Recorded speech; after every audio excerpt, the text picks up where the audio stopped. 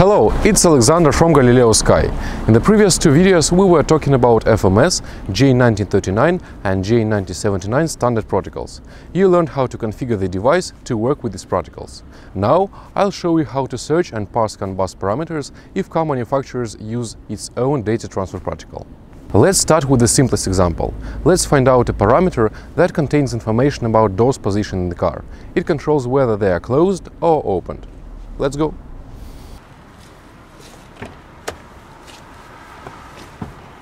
Nissan Note 2012, we'll show you the entire process, from connected to CAN to data parsing.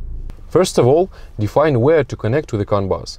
To do this, open the vehicle owner manual or browse it in the net. In Nissan Note, the diagnostic connector is on the left under the steering wheel. As you remember, the CAN bus consists of two wires CAN H and CAN L. To do this, you can use either Galileosky OBD2 to plug in the connector or any other Galileosky 7X unit with 24 pin connector to OBD2 adapter. So we connected the unit to the CAN bus. Now we need to supply external power to the device.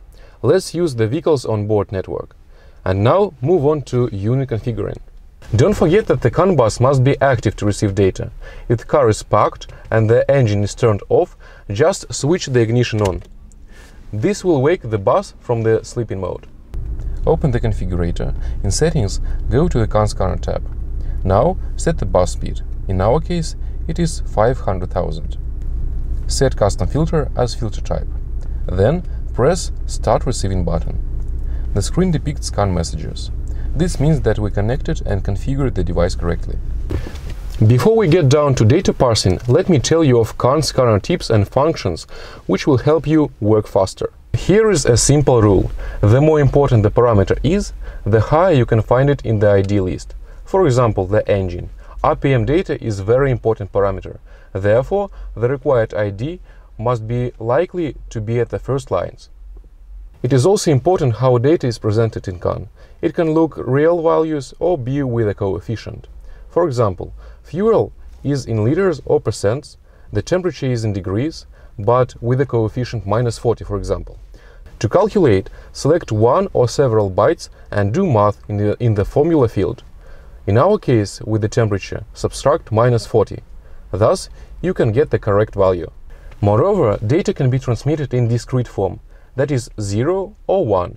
For example, when we open or close the door, the bit changes its value from 0 to 1 and vice versa. Most often, uh, 1 and 0 are used for parameters that can make only two values. So, to search data about doors, turn the engine and headlights off. Don't use other car electronics to narrow the search area as much as possible. It allows not to distract on data from different sensors. Now, let's open and close the door to see how ID change in the CAN scanner. The required parameters will be highlighted in red color.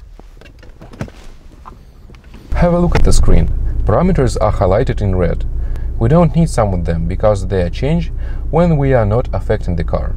So, cut them off. To do this, mark and ignore them while scanning. You can also narrow the list of possible parameters by changing the minimal highlight period. Move the slider and cut the rapidly changing parameters off. Now they are not highlighted in red. Now, open and close the doors according to set highlight period and try to determine the needed parameter. It looks like in 60D identificator, the third bit in the first byte is changing from 0 to 1.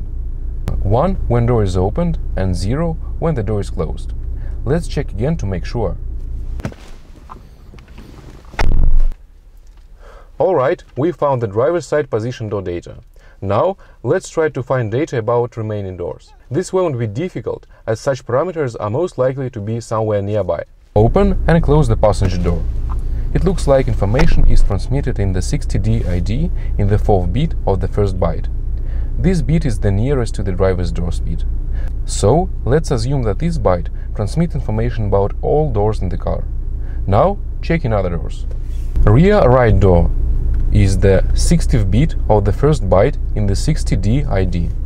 Rear left door, 5th bit of the first byte in the same ID. We found the parameters that contain data about door's position. All of them are in several adjacent bits of the same ID. in order to transfer the received data to monitoring software, you need to select the byte and tick the protocol tag where it should be written. As you remember, you can transfer at least one byte, so we choose a whole byte and select the needed tag. Next, mark the selected tag on the protocol tab to transfer data to monitoring software server. Now, check if information is being received correctly. If everything is clear, then the task is completed. We found the transmitted CAN bus data about door's position. In the next video, I'll show you how to search for RPM data in the CAN bus.